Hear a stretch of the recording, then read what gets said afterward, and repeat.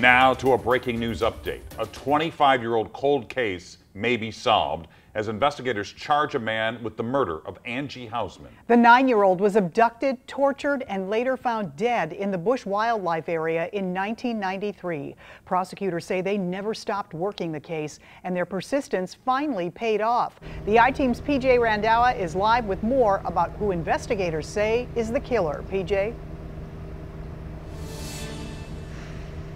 Well, it's important to note evidence in this case was tested and retested over the years, but it was at the end of February when that testing finally paid off. Investigators were able to get a sample of DNA off a little piece of Angie's underwear. Now, that DNA led them to a suspect that's 61 year old Earl Webster Cox. Now, Kirk Cox has a long history of sexually abusing children. He's currently incarcerated in a North Carolina federal prison for peddling thousands of images of child pornography. He's from the St. Louis area and he was living near Angie at the time of her murder. But prosecutors also believe there may be other people involved in the murder. One person who hasn't been ruled out as of today is Ron Bone, Angie's stepfather. He spoke with us earlier today. Then he actually over to that hammer slaps down and said he's guilty. You know, it still gets slapped down and say he's not guilty. Kill him. You ain't got to worry about him anymore.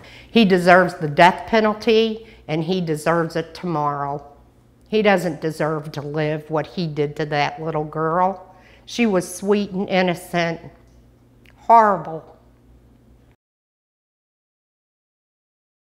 Now, Cox also has ties to the Ferguson and Overland areas, and we're hearing he may be charged for sex crimes in those areas as well, dating back to the late 80s and early 90s. He is currently in North Carolina, as I mentioned, in a federal prison, and he'll be coming back to Missouri in the next couple of weeks to answer for these charges. Reporting in St. Charles County, PJ Randhawa, 5 on your side.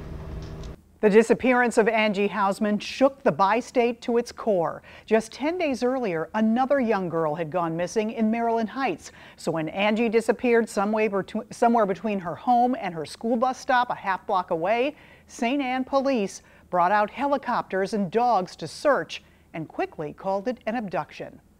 It was November 18, 1993. Nine year old Angie Housman got off the school bus at the corner of St. Charles Rock Road and Wright.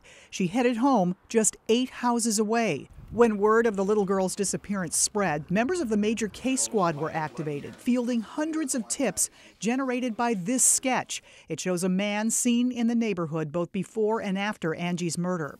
But none of those leads panned out. Nine days into the investigation and two days after Thanksgiving, hunters in St. Charles County found Angie's body in a remote ravine in the Busch Wildlife Area. They found her tied to a tree. She still had the duct tape across her eyes and her mouth. Investigators inside the St. Charles County Crime Lab processed 150 pieces of evidence, painstaking work. They even had the gaffer's tape that bound Angie's body. Parts of the puzzle became more clear. She was tortured. And on Thanksgiving Day, when most everyone else was home with family, the killer brought Angie here. She was taken in there alive and tied to a tree, mostly naked.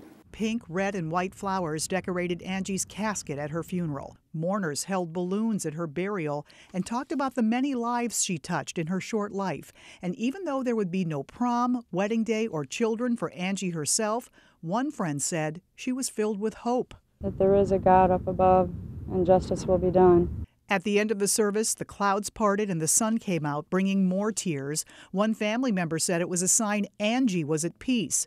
But there would be no peace for family, friends, and investigators who only want justice for Angie. If we can't get him here, then he'll get his in the hereafter.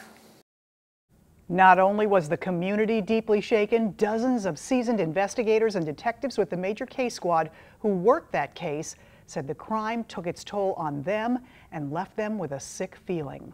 Head to KSDK.com and the 5 on Your Side app right now for an in-depth look back at all of the stories we've done on the Angie Housman case.